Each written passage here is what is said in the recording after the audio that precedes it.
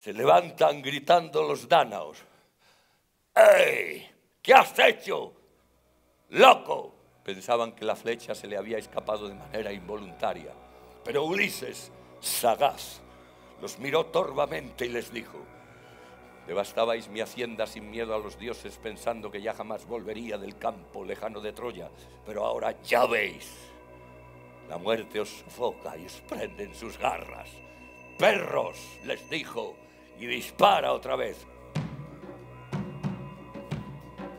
Por aquí, el dardo de bronce esta vez le entró por el pecho. La segunda flecha fue para Eurímaco, que saltó sobre Ulises gritando de modo terrible.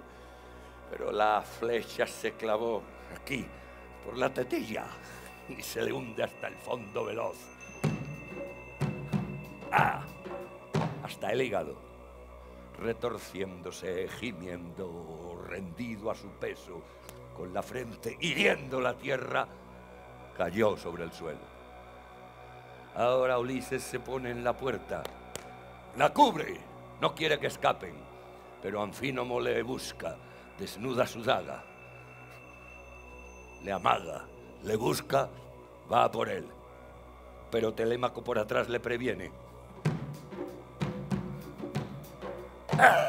Le clava una pica en la espalda. La punta de bronce se asomó por el pecho, cayó.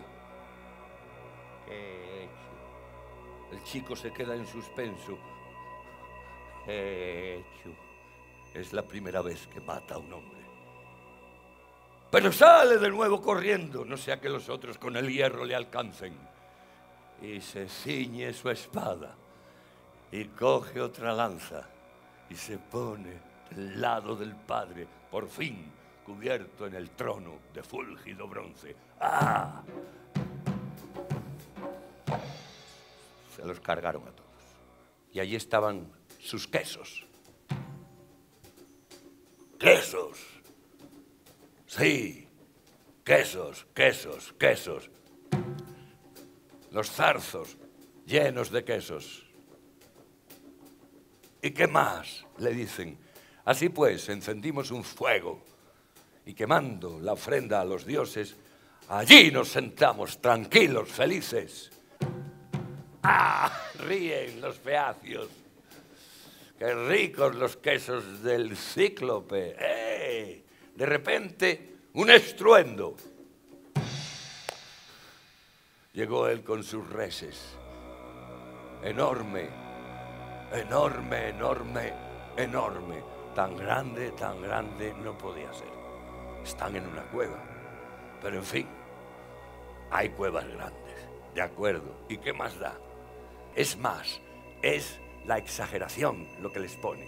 Al verlo tan grande, tan grande, tan grande, dice Ulises, ¡ah!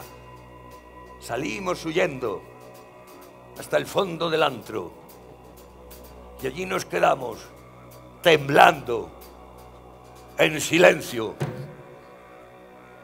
sin fuerza en las piernas.